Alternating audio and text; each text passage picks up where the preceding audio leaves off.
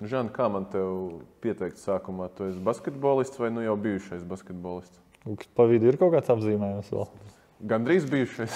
Jā, laikam tā vis, visprecīzāk tu man aprakstīsi. Bet kādas nu, paraksturo ir tās tavas šā brīža attiecības ar profesionālo basketbolu? Spēlēs nesen? Es spēlēju sen, un nav arī tā, ka es tagad gatavojos spēlēt, bet uh, es tagad trenējos, principā, bet es nezinu, vai tas ir veselībai vai, vai, vai kam tas ir. Bet, nu, man ir kā 3-1 gads vēl. Es jau nevaru zināt, kas man būs galvā pēc divām dienām, varbūt pēc trīs gadiem. Vēl teorētiski var atgriezties. Nav vēl tas vecums, vēl ir pietiekams, lai pārdomātu. Tāpēc es tur nekādas nelieku. Paziņojums vēl paziņojums, nav. Nē, un, Bet nu, šobrīd arī tā realitāte nav tā, ka es gatavojos un gaidu piedāvājumu līgumu un kaut kur gribu spēlēt. Tā nav. Tu esi patiesībā no treniņa pie mums atbraucis. Es saprotu, tu palīdzi šobrīd Kristapam jā, jā, gatavoties. Jā, jā. Tu joprojām tur kaut ko viņa... pakustos. Tur arī vakar kaut ko uzspēlējām. Tur viens viens tā kā kaut ko es pakustos. Tu joprojām esi viņam tas piemērotākais sparings, nu, pateicoties augumam kaut kādai kustību jaudai. Uh, nu, gan jau kādā momentā vajadzētu kaut ko nopietnāk viņam pretī ielikt. Bet uh, vismaz šī brīža situācijā tas bija pirmais tās treniņš kur mm. mēs kaut kā tāds viens uz viens pirms tam vairāk bija tāds sagatavojošais darbs. Tā kā pagaidām manis pietiek, tad jau redzēs tālāk. Kas ir tie faktori, kāpēc tu šo garo pauzi paņēmis no basketbola?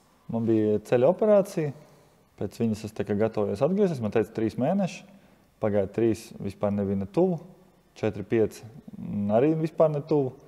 Sestais, septītais, es sapratu, ka kaut kas tur nav kārtībā, nu, pārbaudījos teica, ka labāk īsti nebūs, ir tā kā ir. Var taisīt attēlot operāciju gads ārā, un ne fakts, ka būs labāk.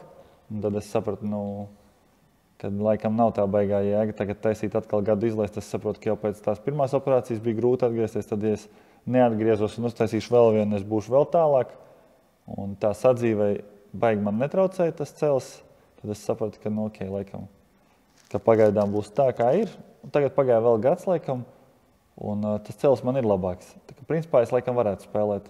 Bet uh, es, tāpat tas jau, nu, kā mēs bijām paspēlējami, šodien viņš ir tāds kaut ko pakrakšs, kaut kāds nepatīkams, mm. tāds pat repēm ejot. Nu, viņš nav perfekts.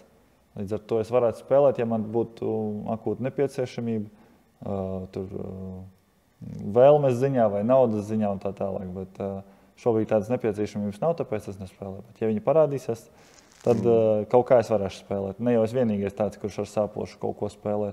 Tāda, es domāju, vairāk nekā puse ir. Uh, bet es vien, jā. nu, jā, es esmu ar tādiem spēlētājiem, kuri tur ar tādiem sapampušiem ceļiem nāk, tur mēģina iekurbulēties no rīta un tad kaut kā to treniņu nomauc. Bet, uh, es vienmēr domāju, ka es tā negribu. Vienkārši tie ceļi jau, nu, ar viņiem vēl kaut kā jādzīvo, pēc tam būs, lai nevar nosacīt ar bērniem, patrenēt, paspēlēt tur paspēlēties vai kaut ko tur. Gribās vēl kaut kādu to veselību saglabāt. Un šī ir tā robeža, kad man būtu ļoti daudz jāupurē jau veselība, lai spēlētu basketbolu.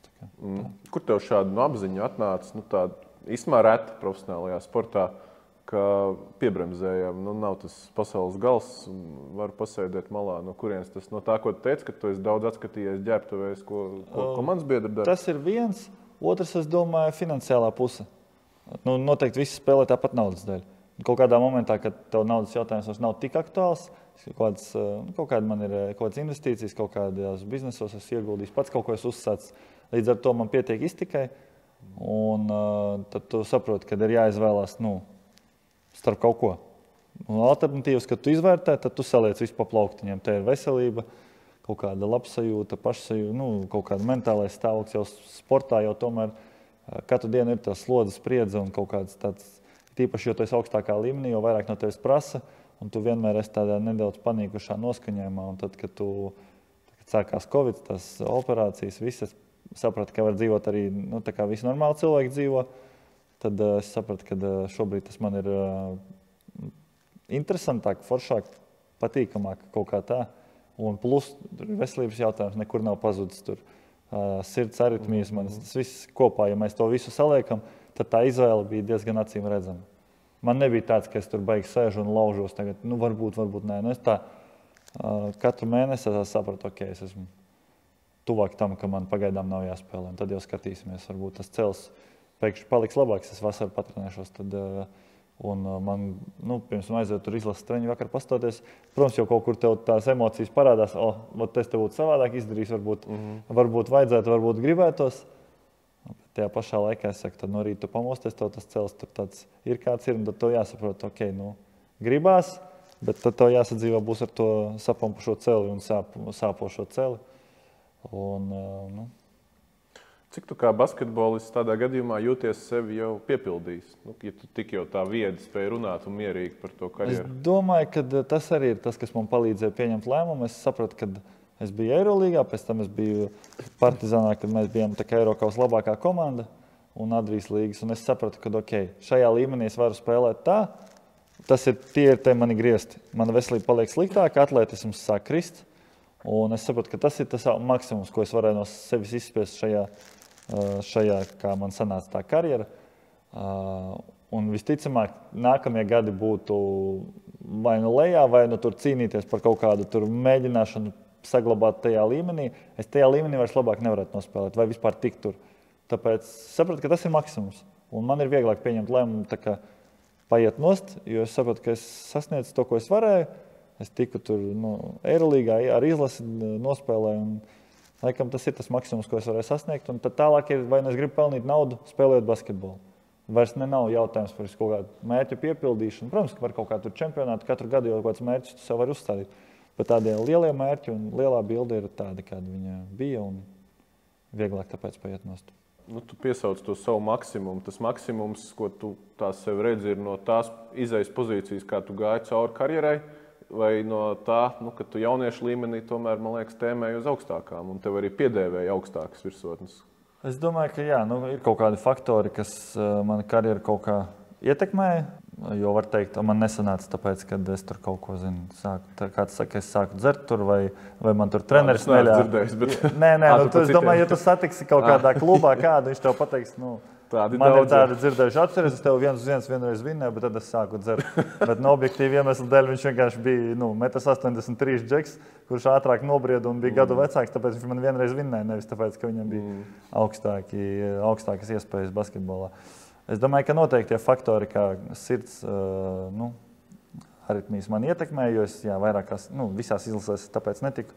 Un bija arī... astoņas vasaras pēc kārtas, kad uh, jā. sirds dēļ izlase vai jauniešu jā, vai pieaugušā. Jā, tā arī Nav. bija. Jā. Nu, un arī tas, ka es LU nospēlēju trīs gadus, dušien, kad, uh, tas, nu, tas bija objektīvi tas iemesls, kāpēc es tur spēlēju. Ja, es, ja man nebūtu aritmijas, tad es droši vien nebūtu LU visticamāk. Tu būtu augstāk kaut kur. Nu, droši vien, kad ātrāk varētu tikt kaut kādā tur varbūt līmenī, un tad man vairāk būtu tie gadi, kad es varētu nospēlēt bez, pieņemsim, saplīst. Kā, mm. Varbūt kaut kā ietekmē tas karjeras nu, attīstību. Nu, tādā ziņā, ka kaut kāda iemesla dēļ tas gājiens uz Eiropu bija vēlāks kā citiem, nu, jā, tāpēc jā. arī tā karjera tur bija bijusi īsāka. Jā, un, jā, jā, jā. Bet tas LU laiks, es saprotu, ir arī tas laiks, kad tev parādās interese par investīcijām, par, par, par biznesa pasauli. Un, un tur tu guvi nu, šīs zināšanas, kas laikam tagad tev ļauj diezgan mierīgi raudzīties uz, uz iztiks jautājumu. Mm, nu, man vienmēr ir bijušas, atceros, man atrada kaut kādā skolā, tur kādā pirmajā, otrajā klasē uz, vajadzēja uzrakstīt, kas tu gribi būt. Un es uzrakstīju, esmu biznesmenis. Brālis vecākais pats izsitās, un man viņš laikam bija kā piemērs vienmēr. Tad es vēl varbūt to basketbolu, jo tad arī nebija varbūt tik daudz tie piemēri, kad es biju jaunāks, kad kāds tur pēc tam tur bija biedriņš, un tu saproti, ok, var tur baigo naudu nu, izcelt. Tā pirms tam neviens par algām nerunāja, neviens par to profesionāli. Nu, kāds bija kaut kāds tur, jā, mums izlases spēlētāji. Es jau, protams, tur ejot uz basketbolu, sapratu, ka es gribu būt. Bet tu vēl tajā momentā, ne tu, ne tev vecāki, neviens neko nezina par to. Tev liekas, nu, kaut kāds sporta veids, ja, kas tur. Ne, tas man nebija tāds pamatmērķis, uz kurien iet. Un, jā, es vienmēr esmu gribējis, un, protams, ka tu spēlēji Lūdzu, mēs pavēlti spēlējām, es nezinu, 40 eiro laikam bija, vai 40 lati bija tā stipendija, tad līdz ar to saprotu, ka kaut kas vēl ir jādara. Un jau no tiem laikiem es kaut kā vienmēr esmu mēģinājis arī nu, kaut kad agrāk es jau kaut kur aizgāju, kaut kādā strojkā, tur palīdzēt pa 5 lati dienā. Es vienmēr esmu mēģinājis kaut kādu naudu nopelnīt, es tiesāju vienmēr no jaunatnes līgas, tad arī uz Rīgu pārējot, es tiesāju basketbola spēles, vienmēr tur amatieru līgās, jaunatnes līgās kaut kādu naudu vienmēr mēģināju nopelnīt papildus. Un tad, jā, kaut kādas pirmās lietas, ko es sāku darīt jau vēl laikā. Un, uh, tā paralēli, jā, tad bija laika, kad es sapratu, ka es varu spēlēt normāli, tad es vairāk visas tās lietas paliku malā. Un tad, kad kādā es neatceros, nu, kaut kādos varbūt 26 gados, tu tāds saprast, ok, jau 26, labi, saprotu. Nu, nav tik gara vairs tā karjera. Kad tev ir tikko 20, tev liekas, oi, tā karjera taču ir tur vēl 20 gadus uz priekšu. Bet tajos 26 tu saproti, ok, nav vairs tik daudz te palicis, vai kaut kā sāk kaut ko domāt ar to naudu, ka tu arī viņu bišķi lielāk nopelni, ka tev kaut kas paliek pāri, nevis tā, kad uh, par iztiku tikai domā. Tad tu sāc domāt kaut ko, un jā, nu, Uh, varbūt jā, veiksmīgi, neveiksmīgi, bet salīdzinoši kaut ko sanāca ieguldīt tā, lai uh, šobrīd var dzīvot. Uh, Kas ne, ir tās sfēras, nu, kur tu darbojies biznesa vidē? Nu, Pārsvarā tās ir arī man nekustamie, ja tur tagad jau diezgan daudz, bet uh, pamat laikam bija kā stock markets, nu, akcijas, akciju tirgus. Jā. Akciju tirgus un tā kā venture investments, kas ir pirms akciju tirgus, pirms stock marketa, nedaudz mm. agrākā stadijā uzņēmuma. Pirkšana, pārdošana. Ne, nu, tur ir nopirkšana un gaidīšana. Jā. Tā, sanāk, tur neko lieku, un to arī varbūt nevar izdarīt. Tas arī man ļāva droši vien uh, tur labāk nopelnīt. Jo tur jaunībā, tu, tā, kad saki, pirkt, pārdot, tas ir tur, kur tu vari visvairāk kļūdas droši vien izdarīt. Mm -hmm. Tur ir tu nopērts un sēdi gaidi, kamēr tas uzņēmums vai nu viņš iziet uz stock marketu, vai nu viņš Eh, viņu kāds izpērk to uzņēmumu, kāds cits tur eh, apvienošanās notiek.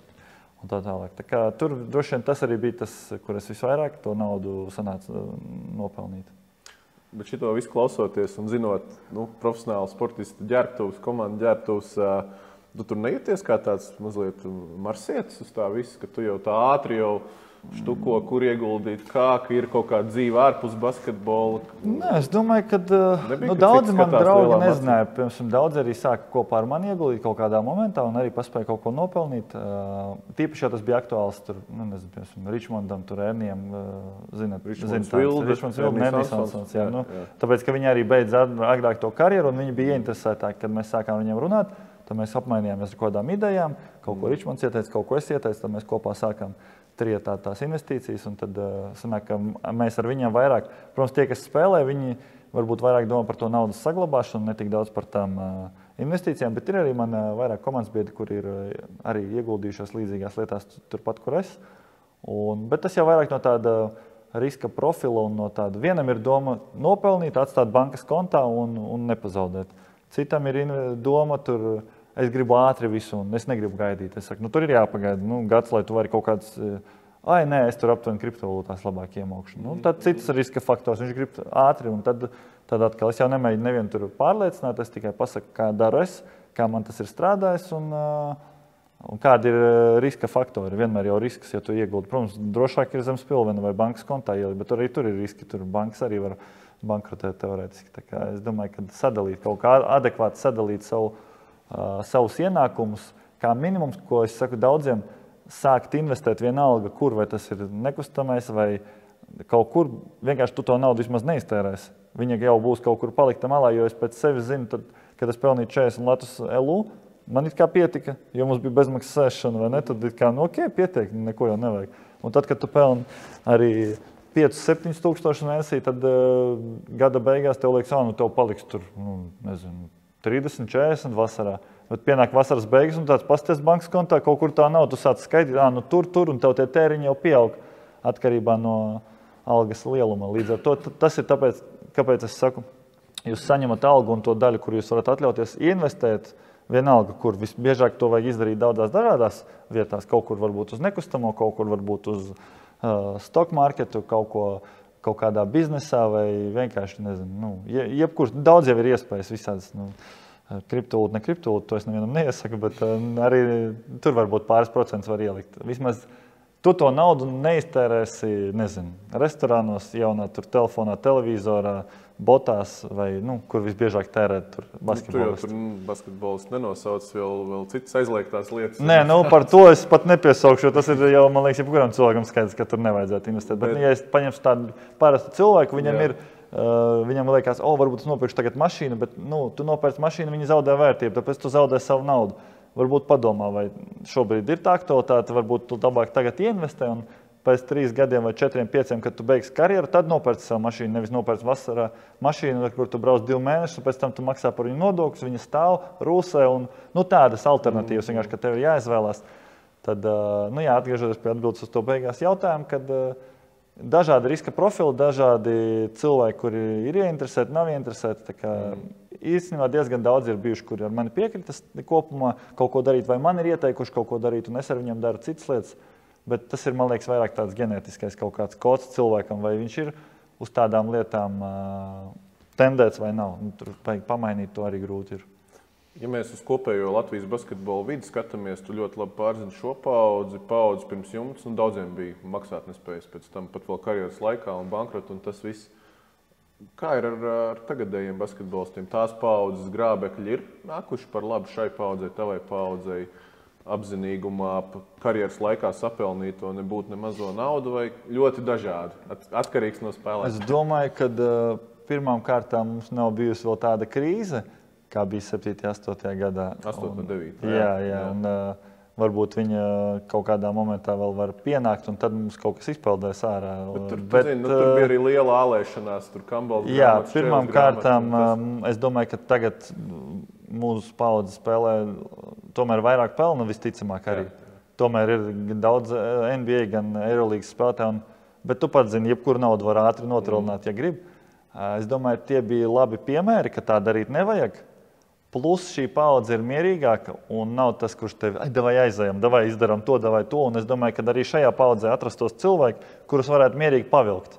Viņi ir tādi uz robežiņas. Bet tā kā nav tas, kurš pavelk un ir vairāk tie piemēri kaut kādi normāli, tad līdz ar to viņi arī, nu, tie, kuri bija tādi varbūt slidenie tie mm. cilvēki, viņi arī kopumā beigās, man liekas, neko sliktu nav sadarījuši. Es ne par vienu, pat man neviens nenāk prātā, kuram draud kaut kāda maksāt nespēja vai Vai, vai tāds vēl tas... nav pagaidām? pagaidām vēl nav, bet es saku, nu, varbūt pienāks kaut kāda krīze un, un kaut kas, bet arī tā banka, piemēram, agrāk jau visiem deva kredītus. Tagad nedod kredītus nevienam arī. Negribu tur saukt uzvārdos, bet uh, Eirolandes spēlētājiem neiedod kredītu. Jo pateica, nu, mēs taču nezinām, tavā valstī, tur, kur tu paraksties. Tur... No tavas paudzes. Ja? Jā, jā. Vai tev dos tur, maksās naudu, nemaksās, kā mēs pēc tam no tevis izdabūsim. Tu tur kaut kur dzīvos mm. savā tur, valstī. Tā. Tā kā, arī bankas atbildīgākas kļuvušas.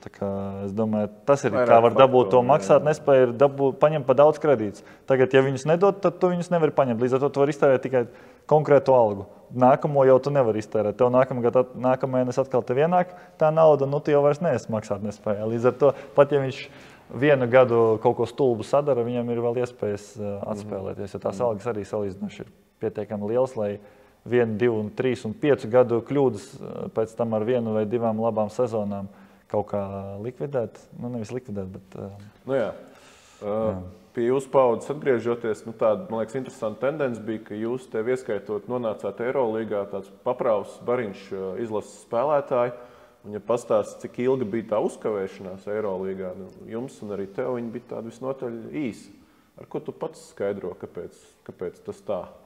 Es domāju, ka liels nopelns tajā ir uh, mūsu paudzei, kā Kristapam, Dāvim, un uz viņu fona mēs visi izskatāmies labāk. Nu, tas ir objektīvi. Mēs nospēlējām ļoti labi. Jā, mēs nospēlējām Eirobasketā ar ļoti labiem partneriem. Līdz ar to, nu, piemēram, es par sevi varu teikt, es eju garām savam cilvēkam, ko es principā visu daudz maz es vienmēr varēju karjerā izdarīt. Bet tad, kad tur sākās čupa, tur jāpieņem kaut kāda lēmuma, tā, te tu aizēji garām, viņi visi sēdz dāvi strēlnieku, dairi un kristapu, un tur vairs neviena nav. Un es iemetu lejup, un viss tās beigas smuki, un viss beigas labi. Bet teorētiski normālā basketbolā tur varēja būt vēl divi garie, mm. būt palīdzības, es vēl dotu piespēli un kļūdītos, un tas izskatītos slikti. Tā, tā atšķirība starp labi un slikti ir pārsvarā tikai tajā, ka bija labi partneri. Vai man kaut kāds labs piespēles, iedod dāvinu, viņš kaut kur izskrien no stagera pie centra laukuma, griežās, met, iemet, tev ir asists. Teorētiski pie cita trenera te varētu būt, kāpēc tu tur iedevi viņam tik tālu to piespēli un ko viņš tur pēc tam darīs. Viņš tur atdod tev atpakaļ, ir 5 sekundes, tu met kaut kādu grūtu metienu, iemet, uzmet kluso un tu izskaties slikti, kas varētu ar manā gadījumā notikt. Bet tā jau viņš iemeta, viss izstāsta beig labi. Es domāju, ka tas bija tas iemesls, eh, laba izlase, veiksmīgs čempionāts, tāpēc mēs vairāk visi sev uzsitām cenu augšā. Kāpēc mēs tur neuzkavējāmies? Droši vien tāpēc, ka mēs neesam pietiekami meistarīgi un labi. Ikdienā, es domāju, es domāju ka jā. jā. Jā, es domāju, jo, ka tas bija labi. Ja mēs paraksturojam tos stāstus. Nu, Strēlnieku gadījumā tomēr skanīgi nosaukumi arī turpmāk. Veselības faktors, ticamāk. Nu, vienīgais iemesls. Jā, jā nu, viņš ir labs spēlētājs. Tiešām viņš ir tur noteikti pelnījis būt nepavēlts. Viņš bija. Daira gadījumā pa pases dati jau palika tādi. Nu, jā, ka- viņš jau veselība arī, Arī veselība. kaut kur, jā, kaut kas. Un tad varam skatīties, nu arī Timam tā karjera neizstāsta ar augšu, Nu, augšupojošu liekni. Un iz- Izskatās, ka kopumā no 17. gada čempionāta nu, Šmitam ir bijis tāds, tāds Jā. ļoti stabils. Nē, nu arī tie Barcelonā. objektīvi tie gadi. Nu, skaidrs, ka vislabāk tu spēlē ap tiem 26, 27, 28, jo tad tev ir tā veselība vēl pietiekama. Mm -hmm. Un tad tev sāk veselība iet lejā. Līdz ar to gandrīz visi jau spēlē vislabāk tajā vecumā.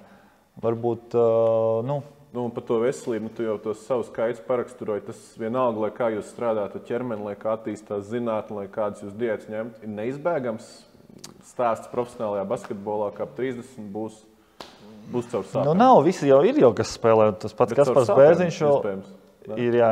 Nu, piemēram, es aizgāju to celu, vēl noskanēju, un man parādīja, tur ir trīs, tie pak, trīs pakāpes. Man bija otrā pakāpe, tā bojājums. Un es tāds, nu, cik tas ir traki. Viņš saka, nu, tā un tā un tā. Un tad es paprastu, tur, e, tas bija Darašu fakā. Un tas doktors pasaka, viņš saka, nu, principā jums visiem ir plus mīnus. Ja tu esi 30 gadi, tad tev jābūt otrai pakāpei. Viņš saka, vēlāk būs trešā.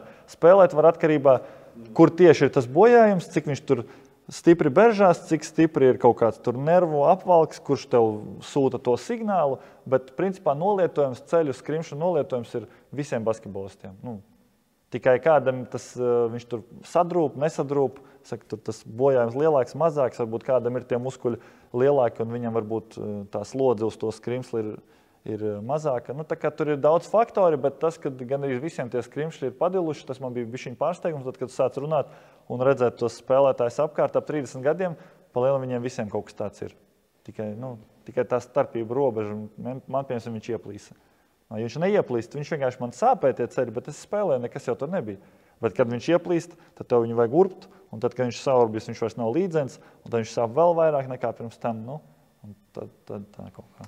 Nu, labi, ja tu zinātu karjeras sākumā par šo visu, vienalga tu būtu to basketbolu ceļu gājis ar, ar šīm profesionālām ambīcijām. Tas tev bija svarīgi pagaršot to Eirolīgu. Jā, jā, noteikti. noteikti. Nu, grūti jau atteikties, ja tev vienmēr tur nu, nevienmēr, bet sanāk labāk nekā citiem. Tad grūti, kāpēc, lai tu pāji malā. Tu zini, ka tev sanāk labāk, tev tas patīk, protams, ja tev sanāk. Un par to vēl maksā naudu, tad, eh, protams, atteikties no tā. Visi jau saka, vienmēr, o, sports ar profesionālis būs problēmas.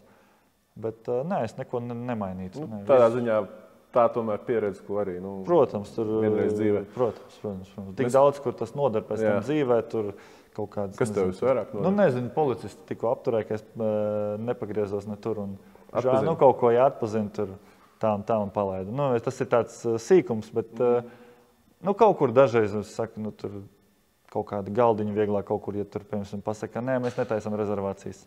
Bet tad tu tur uzzvani, jo tu pazīsti, jo tas džeks arī basēgrāk spēlē, piemēram.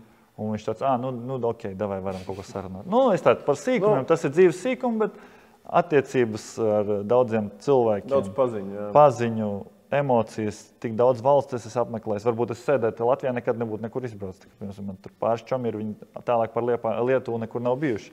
Un tu tomēr tā saproti, cik daudz to esi redzējis. Un Jā. basketbols jau lielākoties ir bijis iemesls, kāpēc es visur esmu tur bijis. Mm. Kas ir tavs emocionālais pīķis nu, tieši basketbolā, ko tu nosauktu? Kas visvairāk? Emocionāli droši vien, kad LU bija vispatīkamāk spēlēt, jo tu, tu esi Joprojām, jauns, ja? izsalkušais, jā, un tev kaut kas sanāk. Un neviens no tevis varbūt vēl tā negaida, tev par to neko nemaksā, citiem maksā. un Tu, tu esi tik tādā, nu, tas saka, tas 20 gadu tāds. Maksimālisms, kas ir galvā, es domāju, varbūt tu pats atceries, ka 20 gados viss bija savādāk nekā 30 vai ne tajā galvā. Jā, jā. Tad tas liekas, ka viss ir iespējams, viss tu tur spēlē un, un tā. Un, protams, pēc tam sākās tas vairāk tas darbs, bet nu, līmeņa ziņā vislabāk es jutos. uh, Tā bija sezona pēc tā Eirobasketa, kad tu nospēlēji Eirobasketu. Tad mm. saproti, ok, es varu spēlēt ar tiem džekiem. Tad es aizbraucu uz Lietkabeli, un tā bija arī man statistiski labākā sezona. Un, Tur bija uh, tas stāsts, ka arī Lakers sāk ausīties. Jā, kas tas tāds nu, jā viens tas laikas skauts ar viņu. Es joprojām uzturu ar viņu attiecības. Jā. Un, uh, Par ko jūs tagad runājat? Kaut kā mums sanāca, jo es Turcijā pēc tam spēlēju mm. gadu pēc tam. Un viņš bija viens no iemesliem, viņ, viņš bija no viens no iemesliem, kāpēc es arī varbūt Turcijā nokļuvu. Viņam bija labas attiecības ar to mm. treneru. Viņš kaut kā varbūt man ieteica vai paslavēs, nezinu. Bet uh, mēs uzturam kontaktu. Nu, tāpēc, ka mēs tur Stambulā pāris reizes vakariņās aizgājām. Un, uh, tagad mēs kaut ko aprunājam. Viņš man dažreiz pajautā kaut par Latvijas kaut kādiem spēlētājiem. Viņš joprojām Lakeros. Ja? Jā, viņš joprojām mm. tur strādā. Un, uh, dažreiz varbūt es viņam kaut ko palūdzu, kaut kādas lietas, kas man ir uh, aktuāls. Un, uh, tā kā kaut kā mēs uzturam, varbūt vairāk tas ir pat teiktu, draudzīgs nekā uh, kaut kāda. Uh, nu, labi, tu vari mūsu intereses aizstāvēt Losandželosā, pa kuriem spēlētājiem viņš prasa kaut ko. Viņš dažreiz par jauniem uzprasa, bet kuriem? viņam dažreiz ir. Nu, Latvijā mums te nav daudz spēlētāju, bet tas ir vairāk, pat biežāk. Nu, tie, par kuriem runā. Ja? Vi, jo viņš ar visiem runā. Viņ, viņam tāds darbs ar visiem mm, runā treneriem. Dažreiz viņam paprasa kaut kāds čoms, mums vajag jauniešu aerolīgai centru. Viņš man uzprasa, jau, jums tur vai nu ir kāds, vai viņš paprasa, jums ir šitais, ko tu par viņu domā. Ot, mm. ot, kaut kā tādas, tās visbiežāk darba attiecības, bet uh, viņas nav tik bieži. Mm. Ne, nu, tā tad uh, par tie spēlētāji, kas Latvijā skaitās šobrīd, rāda nākotnes ar NBA perspektīvu, tie visi tie ir blociņā. Jā, tā arī ir. Viņš visu zina un uh, beig tur. Nu, tāds ir viņa darbs. Jā. Mm. Nu, labi, ja mēs tagad uh, paskatāmies uz situāciju, kas šobrīd ir pasaulē, nu es nevaru to nepajautāt nepilsonis, tu biji līdz cik gadiem? 15. 15 jā, laikam. no Reizeknas nācis, dzimtā valoda, krievu. Kā tu redzi, kas, kas šobrīd notiek ar, ar, ar, ar karu un, un cilvēku reakciju uz to visu? Vai tas beigas vispārīgs jautājums īstenībā? Nu, kas ir Reizekne, piemēram? Ko tu no Reizeknas jūti? Kādas tur strāvojas? Es sakot, ne baigi neko nejūtu. Ko es jūtu? Man tagad atbrauc čoms, kas, ar kuru es Nikolaevā kopā spēlēju. Mm -hmm. Viņš pārvācās Es viņu daļai pierunāju, atbraukt uz Latviju, Jā. pārvākties. Viņš ilgi nevarēja tikt ārā, tagad beidzot tika ārā ar ģimeni. Un, uh, es viņam jā, tur paliku manā dzīvoklī sākumā. Jo baigi viena problēma. Es viņam visu laiku braucu, te ir pabalsti, viss tur valodu jūs mm. zinat, krievi, krieviski runā savā ģimenē. Viss būs baigi labi. Nu, nedēļa pirms viņa atbraukšanas es sāku apzvanīt uh, izīrēšanu, es esmu dzīvoklis meklēt. Nu, es tev godīgi pateikšu, nu, 50 dzīvokļus apzvanīju un neviens neņem ukraiņus. Un tie nav tikai krievu valodīgie. Mm -hmm. nu, es sākumā domāju, ka okay, krievu babuška gadījās tur varbūt kaut kādā ķēngaragā. Viņi varbūt ir Jā. Krievijas atbalstītāji. Bet, kad es zvanīju latviešu cilvēkiem, viņi saka, nē. Es saku, kāpēc? Nē? Nu, tas sākām vienā momentā man sāk jau kaitināt. Mm. Es saku, kāpēc? Nē? Gan jau viņi ātri brauks prom kaut kur. Es saku, nu, nē, mēs varam noslēgt līgumu uz gadu. Nu, nē, nē, nebūs, nē, viss. Un liek klausulis, labi, nākamajam zvanam. Var Ukrāņu ģimene dzīvot? Nē, viņi saka, dzīvoklis brīvs. Es saku, ok, Ukrāņu ģimene var? Uh, nē, nevar. Es saku, kāpēc? Nu, nu, bērni gan jau viņi tur nekārtīgi. Es saku, nu, jā, bet jūs jau neuzprasiet, cik bērniem gadu, varbūt viņiem 18 un 21. Nu. Mm. Nē, nē, nebūs, nebūs. Labi, trešajam zvan. Kaut kāda krievu valodīgā paceļ. Baltkrievus un ukrāņus es nelaidīšu. Ir vēl jautājumi? Es tāds, labi, nav jautājumu. Nu, es stāstu tikai, bet principā visas sarunas bija līdzīgā gaisotnē, līdzīgā kaut kādā manierā. Rīgā, jā. Rīgā, jā. Tas vienā momentā sapratu, ka nu, viņi tulīt atbrauks, ka viņi palika manā dzīvoklī pirmo nedēļu. Tad mēs beigās atradām dzīvokli, bet uh, kad es aizgāju uz, mēs aizgājām tur uz pabalstus, visu kārtot un līdzi. Un es viņiem paprasīju, tur viņi saka, jā, mums tāda problēma ir. Ne pirmais jūs cilvēks, kurš to saka. Un tad es sāku jautāt apkārt, un visi sāka teikt, ka ir tāda problēma. Viņi ir diezgan uzkrītoši. Nu, labi, ja tev kā cilvēkam, kas pazīst krievu mentalitāti, pazīst latviešu mentalitāti, jāprasa, pazīst reizekni labi.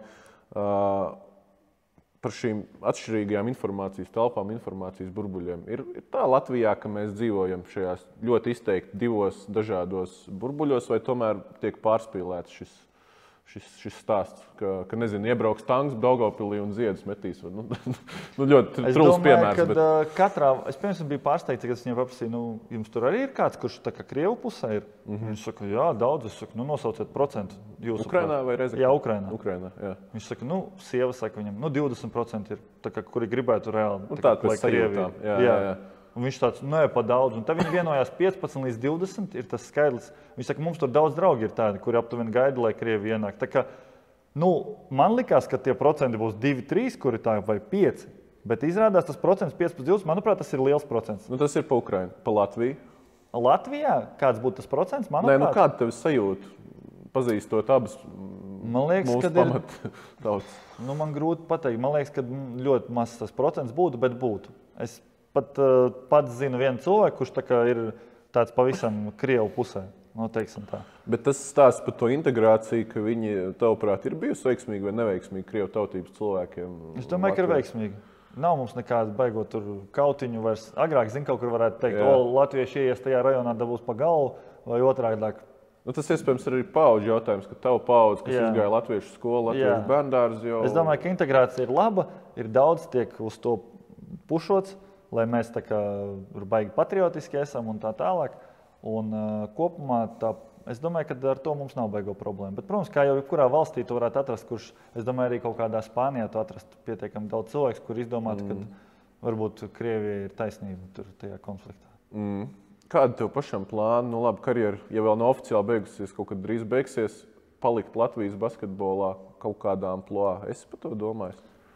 Nu, man ir bijuši kaut pāris piedāvājumi kaut ko darīt, bet pagaidām es esmu atteicies. Bet es nesaku pavisam tā, kā nē, es saku pagaidām, jo es jau nevaru zināt, kāda būs uh, tā situācija, kādas būs manas domas, kāda būs mana finansiālā situācija. Es vienmēr Kā, jebkurās investīcijās apzinos, ka var vienā dienā, nu, piemēram, man arī ir gadījies tagad, kad ar tām sankcijām man ir nobloķēta diezgan liela uh, naudas summa, kuru es nevaru izņemt. Bet uh, nu, es, es katru dienu domāju par to, ka vienā dienā man visu var kaut kur nobloķēt, viss var kaut kur pazust. Mm -hmm. Nezinu. Iebrukt Putins, atņemt visus manus dzīvokļus, un, un, un, un, un, un, mm -hmm. un, un naudu var banka nobloķēt, uh, nu, nobankrotēt. Banka, kurā man ir nauda. Es katru dienu apzinos, un tad varbūt man vajadzēs strādāt jau nākamajā dienā, un tad es piekritīšu. Mm. Nu, bet pagaidām vismaz tas nav tāds, tik nu, aktuāli. Ejot cauri, treneris laikam uzreiz nē. Nu, tur ir pa daudz stresa un atbildības. Es domāju, ka. Menedžeris varētu būt pa zemu plaukts. Ja? Nu, tur ir arī pa daudz, laikam, tāds. Nu, es, ne, es, es nekad nevaru teikt, es varētu, ja vajadzētu, es ietu apkopot šo istabu, ja vajadzētu iet slaucīt. Nu, ja man nebūtu izvēles, tagad pēkšņi nu, man vajag naudu, es ietu slaucīt. Man nav nekādu, es esmu tagad rekur, man vai nu galveno treneri dodiet, vai nu tad es vispār neparakstos, sēdēšu mājās un bezdarbnieku pabalstu prasīšu. Nu, nē, ja vajadzēs strādāt, ja tas būs tāds līmenis, kur es, man vajag darbu, un tas ir tas, ko man piedāvā, tad tas ir mans uh, līmenis. Nu, ja būs kaut kāds labāks piedāvājums, kad man vajadzēs darbu, es ņemšu to, kas ir. Es nevaru teikt, ka pret to es esmu vai pret šo. Un kā konkrēti basketbolā, nu, es saku, tie trīs piedāvājumi visi bija ļoti dažādi. Un, uh, es neteiktu, ka man viņi tā kā nepatīk. Bet vienkārši šobrīd es savu laiku ieguldu vairāk varbūt tajā uh, naudas pelnīšanā. Un tajā basketbolā Latvijas šobrīd par to naudas pelnīšanu tā runa nebūtu tik teiktu, jā, iespējama. Līdz ar to es varbūt to darīšu, tad, kad man jau būs kādreiz varbūt man būs pietiekami naudas, un man vairs neinteresēs naudas pelnīšana. Zinu, varbūt 50 gados es gribēšu ar jauniešiem sākt strādāt vai kaut ko izveidot. Uh, Vai arī pēkšņi man piedāvās tur iet pa galveno treneru tagad NBA klubā, un tad es padomāju, nu, ka foršā iespēja. Nē, es tev nu, vienkārši tā mē, mētājos kaut kur, mēģinu tev kaut kā to bet, vīziju pastāstīt. Skaidrs, ka tas nav iespējams nu, šobrīd. Bet, es kaut kādās nu, aizkulisku sarunās ar basketbolu cilvēkiem pārnājot lietas nākotni, un tādas lietas vairākas reizes izskanējis, ka Žants Pēners varētu būt labs LBS prezidents. Tev tas bet, uh, ir. Man liekas, Ciprus dara ļoti labu darbu. Viņš ir ģenerālsekretārs, bet prezidents. À, prezidents ir Vējons. Jā, ah, okay. Nē, bet vispār ideja. Tas ir kompliments, es teiktu. Nē, nu, tāpēc, ka apmēram tas konteksts bija tāds, vajadzētu kādu bijušo spēlētāju, kas, Jā. kas visu saprot, kuru nevar apčakarēt, uh, pietiekami, kas ir normāli spēlējis un kam galva strādā. Un tavā Jā. gadījumā nu, visi jau basketbolā zina par, par biznesa sekmēm, nu, ka, Jā. kas neapjūg skaitļos. Nu, tāds bija apmēram tas Jā. vairākās sarunās. Tas ir domāju, ka... kā kaut kāds nākotnes variants. Tur ir jāiet tad, kad tu esi piepildījis jau. Liekas, tas nebūtu. Es esmu 30 pa, pa, jā, gados to nevaru. Jā, man liekas, ka tur ir jābūt nedaudz vecākam nedaudz jau varbūt finansiāli stabilākam, jo tomēr prezidentam ir arī jābūt tam, kurš tās finanses visvairāk piesaista. Mm. Un sliktākā gadījumā, ja, ja nekas nesanāk, tad viņš pats paņem un ieliek tur kaut kādu naudu, ja tur čempionātam jānotiek pēc nedēļas, un pēkšņi tās naudas nav. Mm. Es domāju, ka es to tā redzu, un es esmu redzējis, ka citās valstīs visbiežāk tā ir.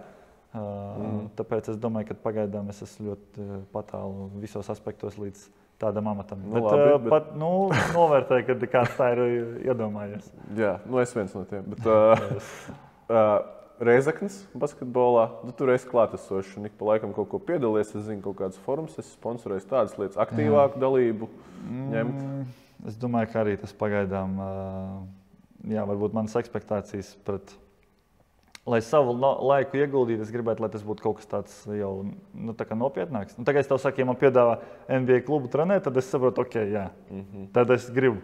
Vai nu, es tas pārspīlētu, bet kur ir tā robeža, man grūti viņu nosaukt. Bet arī Rezignas prezidents ir nopietnas lietas. Jā, tas būtu nopietni. Bet es, es uzskatu, ka es nevarētu to izdarīt. Tāpat kā es nevarētu NBA treneris, galvenais treneris būt, tāpat es uzskatu, ka es nevarētu būt eh, LBS prezidents šobrīd. Bet tas būtu kaut kas tāds, kas būtu ok. Jā, nu, tas ir kaut kas tāds jau bišķiņ lielāks, un varbūt es varētu savas lietas palikt malā un, un, un, un darīt to. Bet uh, šobrīd es nezinu, kur ir tā robeža. Mm. Bet, uh, jā, visticamāk, Latvijā pagaidām es vēl neredzu to, to kaut kādu to posmu, kur es varētu iet, kur man tas būtu gan finansiāli izdevīgi, gan, gan manas uh, zināšanas būtu pietiekamas. Nu, vat, varbūt Kristofam palīdzēt trenēties, tas šobrīd ir tas, ko es Bet varu. tas arī tā prestiži izklausās. Tas izklausās, man neaicina, man tas ir interesanti vismaz. Uh, Jā. Un ir arī lietas, kuras es kā, nu, ne, nevis tikai tur palīdzu, bet es esmu uztaisījis kaut kādu apkopojumu, analītisko no sinerģiju puses, kas viņam ir labāks, sliktāks. Par treniņiem. Jā, jā. Nu, par visām viņa sezonām. Kuras ir tās tendences, ko viņam varbūt vajag pa- paņemt nost. Ja septiņas gadus tev tas nestrādā, tad varbūt to mēs noņemam nost. Postā, uz kuru pusi tev griežoties labāk, kurā pusē labāk tev saņemt bumbu, kurām labāk mest par atsitienu, ne ar atsitienu. Tu jau tur zinātnē esi iegājis. Jā, nu, mēs tur esam, un uh, es tur esmu uh, vēl pāris cilvēkiem. Arī Vašingtonā ir atsūta, paprasīja, lai viņi atsūta savu to analīzi, un uh, vēl vienam cilvēkam es paprasīju, lai viņš uztaisītu savu analīzi. Tā kā mēs principā no trim analīzēm esam salikuši to treniņu kaut kādu procesu, vairāk vai mazāk. Tad es tam Lakers skautam uzprasīju, lai viņš uh, uzzina kaut ko no cilvēkiem, ko viņam liekas, kas NBA, kas varbūt tur ir tās lietas, kas pietrūkst spēles ziņā, mentālā ziņā, attieksmes ziņā, vienkārši kaut kāds veselība. Nu, Lai viņš vienkārši iegūst kaut kādu informāciju, ko viņš var iegūt. Viņš man arī uzzvanīja, tur mēnesi apjautājies ar visiem. Viņš man iedod kaut kādu informāciju. Es vairāk apkopoju visas tās lietas, iedodu savu redzējumu, nododu to informāciju. Varbūt viņam viena lieta no tā visa noderēs, un viņam tas palīdzēs iemest vienu grozu sezonā. Es jau būšu savu darbu izdarījis. Jo tomēr tas ir uh, tādā līmenī, kādā viņš spēlē. Es uzskatu, ka katra nianse ir svarīga. Un, uh, ja kaut ko mēs varam viņam iedot klāt, visi kopā, tad uh, tas beigās var izvērsties kaut kāds 5, 5 miljonu jautājums nākamajā līgumā, un tad uh, tas ir vērts to izdarīt. Bet izklausās, ka varbūt tavu biļeti uz NBA varētu būt kaut kas šāds. Ne? Nu, es nezinu, pagaidām. Es, Vēl. es to tā godīgi sakot, vienu cilvēku. Es godīgi sakot, tā neplānoju. un Nav tas, tas nav tas, ko es tagad gribētu. Kā tas nav tas mērķis, uz ko es eju. Bet vienkārši es uzskatu, ka, ja man ir kaut kādas zināšanas tajā basketbolā un kaut kādā analītiskajā spējā, tad tas ir tas, ko es varēju iedot. Es nezinu, vai tas palīdzēs. Un varbūt pat tas neko nedos. Bet nu, vismaz es izdarīju to, ko es uzskatu, ka es varēju dot. Labi, sarunas noslēgumā paliksim pie basketbola un pie jauniešiem. Daudzi tagad brauc meklēt laimi ārzemēs. Daudz, par daudziem mēs jau ļoti ātri runājam, kā nākamajiem, nākamajiem. Nu, ja skatāmies 17, 18, 19 gads, Eirolandā vienā brīdī 6 spēlētāji, NBA 4. Visas jauniešu izlases puikas meitenes augstākajā divīzijā. Uz pasaules kausa pat brauc puikas U-19, meitenes U-19, dāmas brauc uz pasaules kausa. Tagad redzam, 22. gadā tas viss ir gājis uz leju. Kāpēc tas tā ir gājis uz leju? Vai tas arī bija kaut kur saistīts ar to, ko tu minēji par savu un citu karjeru, ka bija brīdis, kad mēs labi izskatāmies kā latvieši, un tas ir nu, prestiži mūs aicināt, vai, vai arī kaut kas basketbolā mums ir sagājis šķīvi? Es domāju, ka tā, tie ir objekti, objektīvi iemesli tādi, ka mēs esam maza valsts un mums nevar būt katru desmito gadu porziņš, Dāvis Bertāns un katru otro gadu vēl Eirolandes spēlētāji. Ja mēs paņemam pēdējo 30 gadu nogriezni, nu, mums ir tie, nu, piemēram, Eirolandes spēlētāji, cik viņi ir bijuši. Viņi sagadījās šādā posmā lielākā daļa. Es domāju, ka tā ir vairāk sakritība, nevis ka tagad vienmēr tā būs. Un, un ja mēs Tātad te ir kaut kāda kļūda tur LBS vai LJBL programmā vai vēl kaut kur. Es neuzskatu, ka ir kaut kāda kļūda bijusi, jo mēs jau kaut kādā ar to sistēmu sagatavojāmies. un Es neredzu, ka sistēma būtu sliktāka bijusi. Es domāju, viņa ir palikusi tikai labāka. Bet uh, vienkārši tie talanti, viņi nav tik daudz vairs. Es arī aizēju uh, uz nometni vai jauniešu izlasēm. Tu vari redzēt, ka tur tie talanti, viņi šobrīd nav. Un, uh, vienkārši tā ir sagadījies. Ģenētika kaut kur nepaveicās, kaut kur vienkārši sakritība. Es nedomāju, ka tā ir kaut kāda kļūda attīstībā. Es domāju, ka vienkārši šobrīd ir tā, kā tu saki, mēs esam izkrituši gan no visām A divīzijām, vai ne? U16 tikai palikuši. Nu, Mēs es no arī- neteikšu, bet ir šur Jā. tur izkrist, šur tur ir izkrist. Es domāju, ka nu, ar tiem spēlētājiem, kuri bija mūsu apgabalā, mm -hmm. lai vai kāds būtu treneris, labs, slikts, vai, lai vai kādā mēs tur jaunatnē, nu, es trenējos pie kaut kādiem tur vieglietīgiem treneriem, pat uh, Man principā bija tikai viens treneris, Armanovičs, kurš arī diezgan nu, Rezeknē. Rezeknē. Pēc tam es trenējos pie treneriem, kuri nekad nav basketbolu ne trenējušies, ne paši. Nu, Un kaut kā es līdz Eirolandā izaugu. Nu, nu, es biju līdz... talants liels. Bet... Jā, bet nu, Arčuns arī no nu, dejām pārgāja uz kaut kādā sestajā klasē un trenējās pie tren boksa trenera. Jaunais Buļbuļsaktas. Jā. jā, viņš aizgāja pēc tam tikai kaut kādā 11. klasē. Ne viņam tur kaut kāds baigais talants, bet kaut kādas ģenētiskās darba spējas, spēks, neatlaidība. Nu, vienkārši kaut kas viņam bija tāds, ka viņš varēja nu, kaut kādā momentā arī būt izlases kandidātos. Un vienkārši laikam tagad ir sagadījies tā, nu, piemēram, arī ar, ar, ar tiem džekiem mēs nekad nekritām ārā. Lai kāds būtu treneris, lai mhm. kāds mēs nekritām nekad ārā. Mēs vienmēr bijām A divīzijā. Es pat tā saku, mēs, bet es tur nu, nespēlēju. Nekad, bet, nu, mēs izlasām, mēs valsts. Bet, šobrīd mēs krītam ārā un vainot pie tā, es pat nezinu, ko treneris, LBS vai ko. Droši vien, ka pretinieki ir vienkārši labāki, jo jaunatnē jau tur to taktiku. Cits valsts attīstās straujāk varbūt. Jā, bet es domāju, ka tas ir tāds posms tagad. Es -hmm. nedomāju, ka kaut kur ir problēma. Es vienkārši redzu, ka tie džeki šobrīd varbūt nav tik talantīgi. Varbūt viņi ir vēlauģi, kaut kādi supervēlauģi. Varbūt vienkārši netalantīgi 5, 6 gadi ir gadījušies, un pēc tam mēs izšausim, un atkal mums izaugs vairāki NBA spēlētāji pēc kārtas. Skaidrs, ka tik mazā valstī, ja mēs paņemam to procentu, nekā, nu, nu, nebūs tā. Nekad jau tā nav bijis. Vienu brīdi mums bija visvairāk NBA spēlētāju, tur valsts eh, kaut kādu tur to iedzīvotāju skaitu, vai ne? Kaut kā mhm. tā bija. Nu, kad mums bija četri vienbrīd, nu, tā ir anomālija. Tā skaidrs, ka tā nebūs. Ne jau mēs ar kaut ko esam īpašāki. Nu, okay, mēs esam viena no garākajām uh, pasaules mm -hmm. nācijām, bet tas nedomāju, ka tas bija tas iemesls. Vienkārši tā bija sakritība. Ko tu gribētu nodot tagad kā vēstījumu jauniešiem, kam ir 16, 17, 15 gadi, brauc uz Itālijām, Spānijām vai šeit tiek jau daudzināt. Nu, tu biji 17 gados, pat tevi rakstīja kā nākamo Eiropas maģisko Johnsonu. Tas bija Latvijas žurnāls, bet tev bija liela uh, un pamatot nu, mēdīju publicitāte. Tagad es teiktu, ka daudz ar mazāku talantu pakāpi arī tiek daudzināti un ir nu, paši un viņu vecāki notēmējuši pat varbūt uz vēl augstākiem plauktiem. Un tev tas stāsts nesalikās tā, kā, kā bija cilvēki iztēlojušies. Droši vien tu pats, ko tu gribētu pateikt tieši tiem spēlētājiem, kas ir tagad tavās kurpēs? Ne, es domāju, ka tā braukšana prom ir vairāk spēlētāji, kur aizbraukuši, dabūjuši to valsts pilsētu, nu, Itālijas vai Spānijas pasi, un tāpēc viņi pelna vairāk naudas. Mēs jau tāpat spēlējam basketbolu, lai nopelnītu naudu.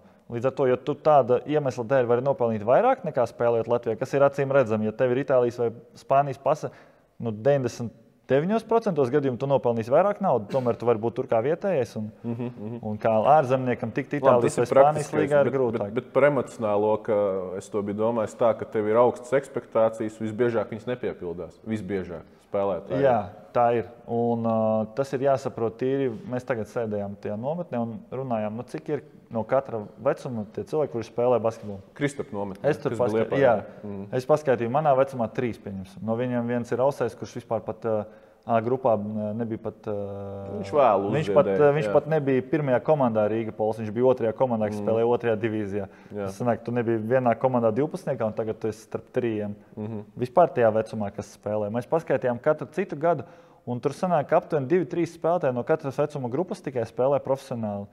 Un, un tad tev ir jāsaprot, kā vecākiem, kad vot, no visiem, kas spēlē Latvijā, tajā vecuma grupā, divi vai trīs spēlēs profesionālu basketbolu. Un tev ir jāsaprot, ka nu, iespēja ir ļoti maza. Tu visi jau gribi, lai viņa dēls kā spēlē kā Kristaps. Visi tā grib, un visiem ir kaut kādas expectācijas. Tu vienmēr savu bērnu kaut kā varbūt ne visai objektīvi uh, Bet vienkārši tev jāsliek matemātika. Matemātika ir katru gadu plus mīnus vienāda. Nu, varbūt kādā gadā ir 4, 5 bijuši, jā, citā viens. viens. Jā, jā, jā, bet uh, vairāk par 5 man liekas, nav bijis vispār nevienā gadā. Un pat ja mēs paņemam tās izlases, kas bija uh, kaut kādas 18, top 3, nu, piemēram, 92. gadus, nu, Dāvis, Timma, nu, vecākais ir 93. Mm -hmm. nu, Misters, nu, 3. Ja mēs paņemam 89. kas bija top 3, mm -hmm. nu, Dairis, Strelnieks. Strelnieks Mīzes eh, ogrā bija paspēlē kaut ko. Nu. Nu, kaut kas kaut kur vēl. Jā, spēlē. bet nu, tā matemātika ir diezgan biedējoša. Mm. Tas neko vispār tev negarantē. Ir gadi, kur droši vien neviens nav. Varbūt, ja mēs tā paņemsim pēdējos 15 gadus. Noteikti, jā, jā, jā, ir tādi gadi. Tāpēc tiem vecākiem un arī pašiem bērniem ir jāapzinās matemātika un jāsaprot, ka iespējas ir ļoti mazas. Ja viss saliekās perfekti, tad jā. Bet savādāk tu vari būt uz 16, 18 vēl Eiropā top 5. Tur Dukls, man liekas, bija jā, viens no. Jā. Un uh, jau pat 21 gadā viņš beidza karjeru. Nu, nu tā kaut kā. Tā kā realitāte ir biedējoša, un uh, visiem tas ir jāapzinās. Tāpēc neatmetīsim ar roku mācībām. Jau kaut kādā tur 7. klasē neiedomāsimies, ka visi mēs tagad pelnīsim milzīgu. Jā, tāpēc es domāju, mācības gan skola vispār nav apspriežams, ka viņi ir jāpabeidz. Un es domāju, kaut kāda papildus izglītība tas jau ir katram jāsaprot, vai viņš grib kaut ko, negrib. Es domāju, ka kādā laikā visiem pienāk tā apziņa. Es domāju, tev arī tā ir bijis, ka gribās vairāk kaut ko dzīvē saprast, kaut ko vēl jaunu iemācīties klāt. Un skaidrs, ka 20 gados tu tā nedomā, tev liekas tas, tas, bet kaut kādā laiku ejot, es domāju, nav, nekad nav pa vēlu kaut ko jaunu iemācīties. Un varbūt tajā universitātē neobligāti, ja 20 gados var arī 30, 40 un 50. Varbūt neobligāti universitātē kaut kāds kursus iziet, nekad nav pa vēlu. Kā, uh, kaut ko ap, jaunu iemācīties, es novēlu visiem vienmēr un nekad nav pa vēlu. Paldies par sarunu!